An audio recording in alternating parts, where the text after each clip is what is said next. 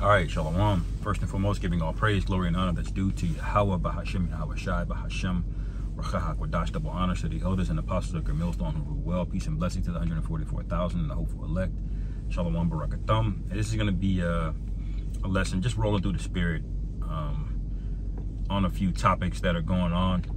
Um, there is a lot going on. You know, if you haven't been paying attention, this uh, this Frankenstein uh, set of hurricanes that they had, which one which one of them was 800 fucking miles wide. Excuse my French.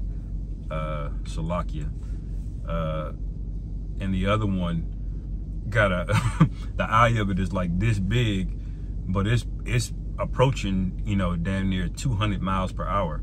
You know, in terms of winds. Now anything that big, that high, that, that used to be like tornado winds. Now the trade-off of a tornado versus a hurricane is that tornadoes have a small you know, area of destruction, but the but what it destroys is much, much, much more powerful. All right. It doesn't stretch out for miles and miles and miles.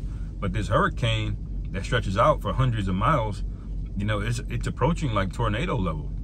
All right. So, you know, a lot of these things are gonna get uh uh, are gonna are gonna uh, build on top of each other, man. You know, I was just thinking about it too when I saw some images of it.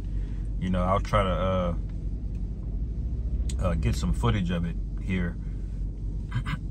but uh, but a lot of it is gonna un it's gonna it's gonna wake up a lot of things out there, man. Whenever you disturb wildlife like that, you know you're gonna have all kind of creatures that lose their habitats, bears, you know, uh, uh, uh mountain lions, bobcats, various creatures, and even the cryptids, man. I believe, you know, some of those spooky creatures, which are which we're in spooky season for America, but you know, this is about to be a permanent spooky season. And I, you know, I may do a lesson on that later. But uh, those creatures as well too, man. You know, these people going missing. You know, they say it's in the hundreds, but it's, it's in the thousands, man. Esau literally has no idea what he does because he's got satellites. I mean, he can pretty much see everything in 4K from right above where everybody is and, and have a means to rescue them. But what is everybody crying out about, man? What is everybody in an uproar about? You see, they're in an uproar because the the National Guard, FEMA, the local police, they're telling people that not only can we not get to them, but other civilians, so-called good Samaritans, are not able to to uh, use their resources to go get them. The guy that had the helicopter, they said we're gonna arrest your ass. You know, if you try to go rescue people. So that should tell you everything you need to know about, you know, what's going on on the hurricane, on the hurricane front. All right. And it says, let me go to second Esdras. Okay. Um, starting at verse chapter 15, verse 14. All right. It says, Woe to the world and them that dwell therein, for the sword and their destruction draweth nigh. All right. So the sword is near.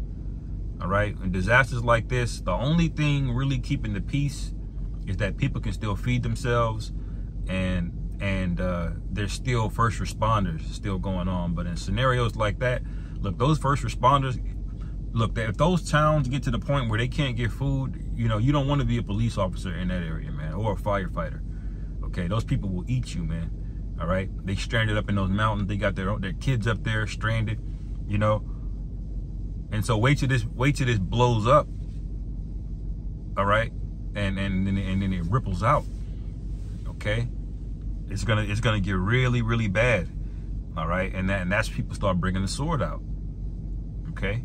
Eh, people go into survival mode you know? It says and one people shall stand up and fight against another and swords in their hands. And america is the most armed country in the world. There are more guns here than there are people okay? And there are guns everywhere okay? So all it all this place really needs is a reason you know, people say, give me a reason. Well, Esau and, and the American government is about to give everybody a reason. All right. And it says, for their destruction shall, for Salakia, verse 16, uh, for there shall be sedition among men and invading one another, and they shall not regard their kings nor princes, and the course of their action shall stand in their power. All right. And, and course of the action stand in their power. That means that we're, we're going to decide what we're going to do. Okay. FEMA's talking about you can't go past there, you know, and then they're telling you that they can't go into the area of the zone where where uh, where it's been destroyed. Well, you know, people are saying, wait a minute, that's your job. Your job is to be able to go into areas uh, of destroyed areas and, and rescue people, you know. And then they have the audacity to offer you seven hundred and fifty dollars. You know, that's that's the kind of foolishness going on, man. All right, and it says, "Behold, saith the Most High, I will call together." Um, nope, Salakia. Verse seventeen a man shall desire to go into a city and shall not be able. Okay, so this is just a little bit of a sneak peek of what's going to be going on. And the only refuge you're going to get, because see, ultimately, Esau doesn't want people in these rural towns, man, where you can have your own land and farms and things of that nature. He does not want that, you know. Bill Gates is over there buying up uh, all kind of farmland, okay? He wants you in the cities clustered he wants you to have to go through interstate highways to go across the country. He wants narrow pathway. He doesn't want free, things free and open. He wants everything locked down, all right? That's what he wants, okay?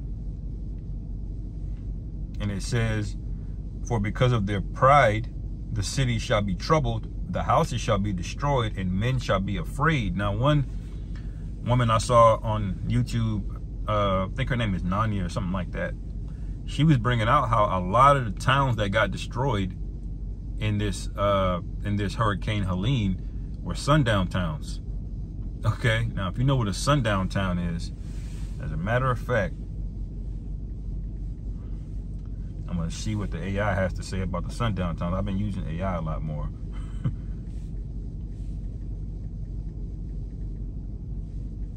What are sundown towns?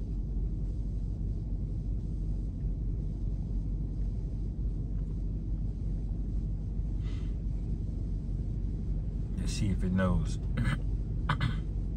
sundown towns were communities in the United States that during the late 19th and 20th centuries enforced policies, either official or informal, that excluded African Americans and other minority groups.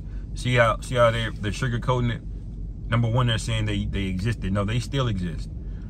Okay? And then number two, they didn't just exclude. All right? If they caught your ass out there, your ass is going missing. Okay?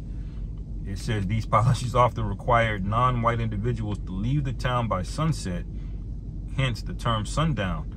Okay? These towns use the com combination of local laws, intimidation, and violence to maintain their all-white populations and signs at town entrances, sometimes explicitly warning minorities to leave before nightfall. All right, so you had a lot of them in the South and North Carolinas. All right, and if you know the trajectory of the East Coast of the uh, of the hurricane of the, of the East Coast, it went through Florida, it went through Georgia, it went through South Carolina, South Carolina, North Carolina. All right, they got they got tore up, man. All right. Now, now, coincidentally, you know, I find it strange or coincidence that what's next if you go just a little bit further north of North Carolina that didn't get hit. Oh, that's that's the Virginias and DC area. Okay? All of a sudden this 800 this 800 mile wide hurricane, it didn't destroy DC. You know, they got some rain, but their towns aren't aren't aren't flooded over. Their there are entire bridges that are just gone, man. Their streets that just got washed away, the entire street. All right. And so now what they're saying, now that Hurricane Milton is about to hit Florida, what they said was Helene left a lot of debris. They got to pick up a lot of debris very quickly. Why? Because debris turns into projectiles, okay? and projectiles do the most damage in a hurricane. You got branches and trees and and various garage doors laying around. And another hurricane is gonna come through and pick all of that up and start flinging them, man. All right. so that's what that's what Milton is getting ready to do, man. You know. So so they're trying to pick up all the debris as fast as they can. You know, we're all all before what election season, man. All right. Anyway, already 10 minutes, man. Damn. just on this, this, this damn hurricane. We see here. Um, see, Trump accuses Biden of neglecting uh, hurricane survivors while giving Ukraine billions. And see, this is going to contribute to the uproars of the people, and that's kind of the point that I wanted to to highlight on. They're gonna they're gonna gaslight the hell out of these people, man. Okay, they're gonna say, well, well, we need that. If they don't, if we don't help those people overseas, then that war is gonna come over here. But they don't tell you that they're instigating all the wars. They don't tell you that they're the number one radicalizer of, of all so-called extreme extremist violence.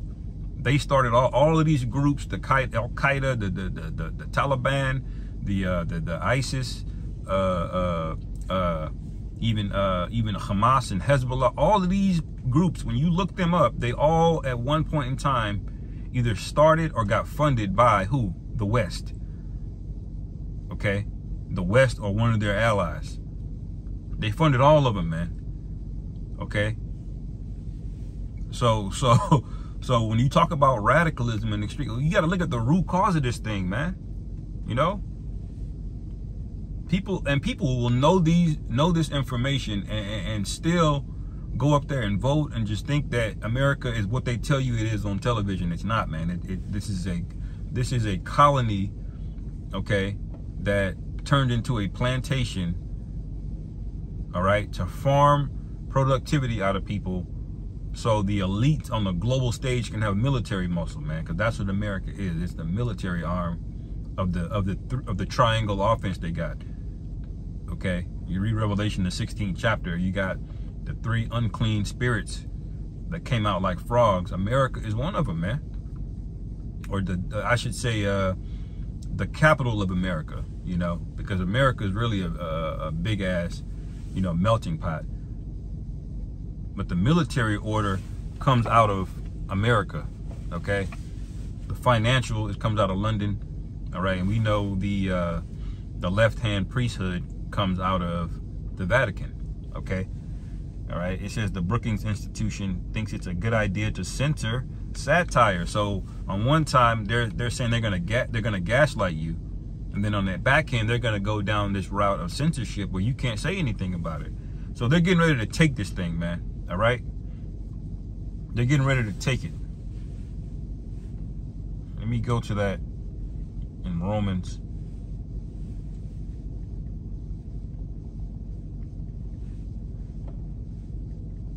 I believe it's Romans 12. Romans 13.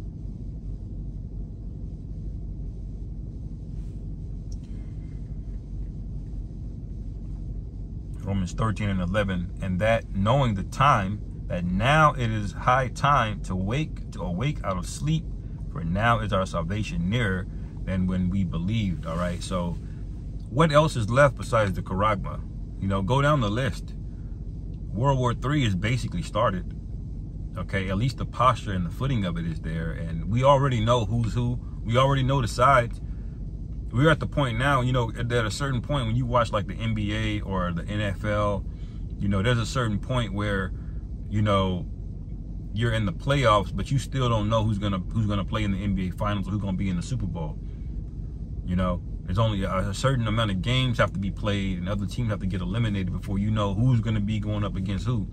Well, we're at that point now where we know who's going to be in this Super Bowl, who's going to be in this in, in, this third world war. We know who the allies are, we know who the enemies are, we know where the allegiances are, and, and the violence has already started. So what else is there left?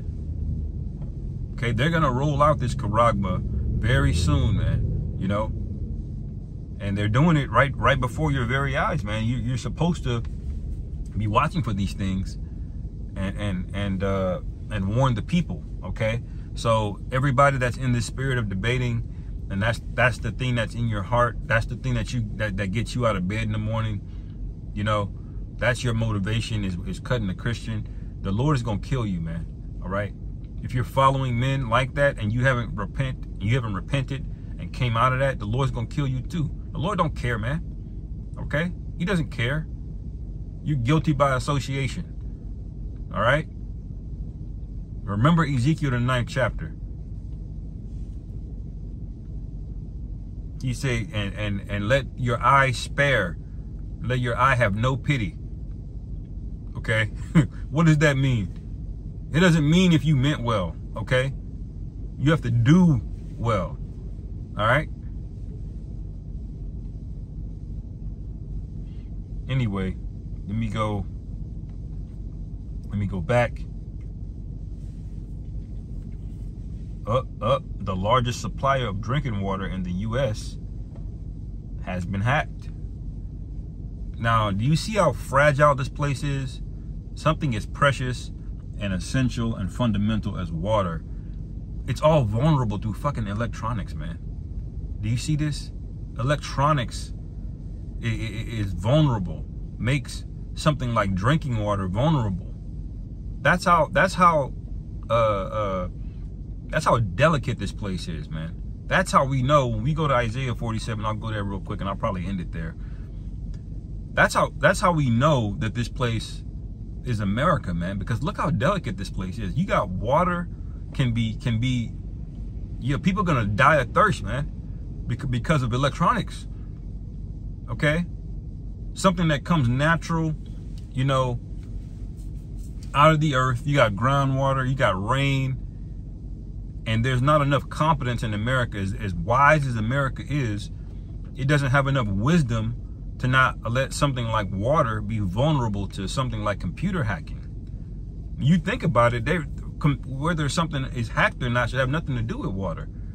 Okay? But what did the scriptures say? He's going to make the wise men of this world seem foolish. All right?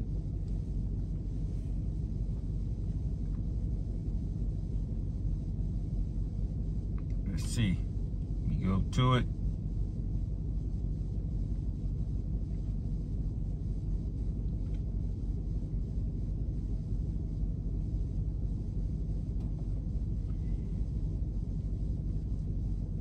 Let's see. I believe that was in. Yeah, I'm gonna go. He speaks about wisdom and Teman.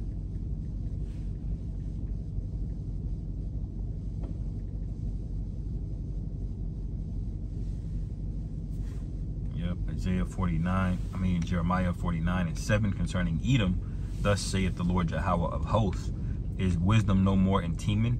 Is counsel perished from the prudent? Is their wisdom vanished? Because they're going to look at you as the most powerful nation, the richest nation. You got all of this land in America, but you got 600,000 plus people that don't even have homes. You have a housing shortage on 2 billion acres of land, man. 3 million square miles you still have a homeless problem. Okay? You still have gonna have people that, that die from from lack of access to water, man. When you have some of the biggest rivers in the world here, the Mississippi River is one of the biggest rivers in the world. That alone. Then you got the Ohio River. Then you got the Missouri River, which is huge. Then you got the Colorado River, that's huge. And, that, and that's why the scriptures say, in due time, I will set up one that's profitable. All right. And Sirach, the 10th chapter. This place is ripe for the taking, man. This place, these people are dumb, they're stupid, and they're proud at the same time. So the, this this is the perfect candidate for, for thermonuclear destruction. All right. And the Lord is going to make good on that promise. Yahweh Bashim Yahweh Shai is going to make good on the promise of America being destroyed. The destruction of America is inevitable. So all you guys trying to hitch your wagons to this place, trying to think that there's some kind of way that this is just a downturn, that this we're going to get over this and and then this, this and that, or you talking about voting, you're going to die, man. All right? Rightfully so. Isaiah 47 and 1. Come down and sit in the dust, O virgin daughter of Babylon. Sit on the ground, there is no throne, O daughter of the Chaldeans. For thou shalt no more be called tender and delicate. Yeah, this is going to make, you know, as, as, as, the saying goes, you know, uh, hard times make strong men.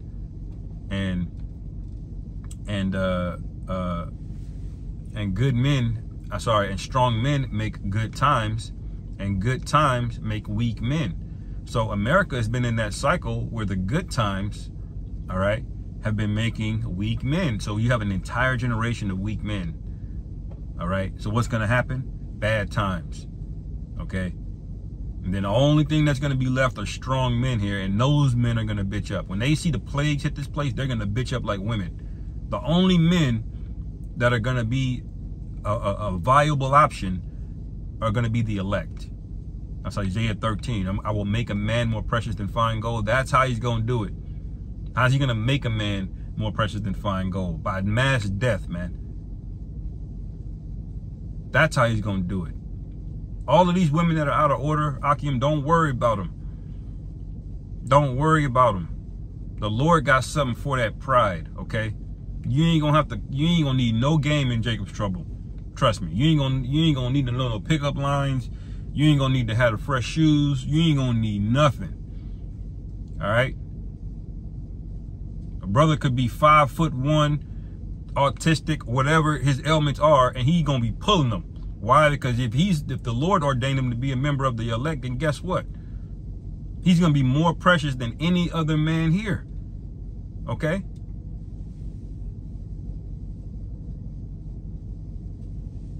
You could be missing teeth, bald, whatever it is. If you are a man in the Lord, whatever ailments you got on this side, you're going to be good, man. All right? You think that women, the standards are, are, are crazy high. Watch how low they get. okay, which we're not going to be low men in, in real value, but according to this society's value, you know.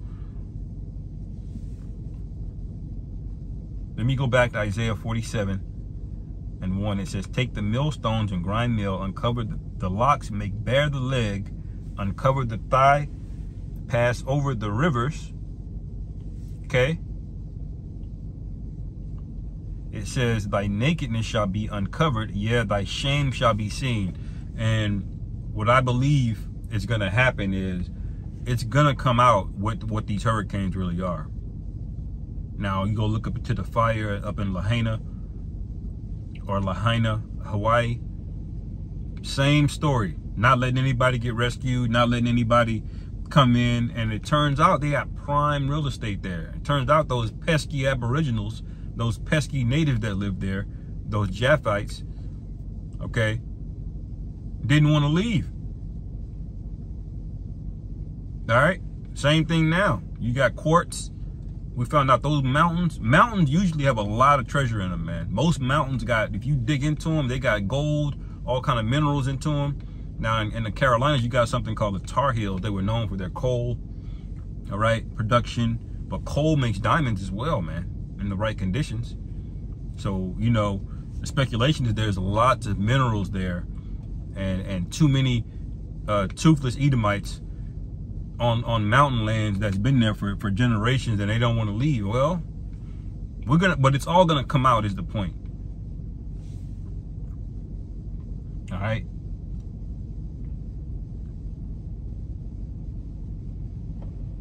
It says, Thy nakedness shall be uncovered, yea, thy shame shall be seen. I will take vengeance, and I will not meet thee as a man. Okay? And that's going to apply to the elect brothers that are here that have to endure the time of Jacob's trouble. Whether we get spiritual powers or the Lord does it on our behalf or he does miracles on our behalf, you're not going to be dealing with average men. You know, like this, like yesterday morning, I woke up with a headache. You know, would, you know, could these bodies are, are, are, are just through, you know, You're not gonna we're not you're not gonna be dealing with those types of individuals. You're gonna have to deal with how about Bashim Yahweh Shai. The Lord's gonna stretch out his hand, like the scriptures say, with a with a with a mighty arm and a stretched out hand, he's gonna deliver us out of this place. That's what you're gonna be dealing with, Esau. Okay?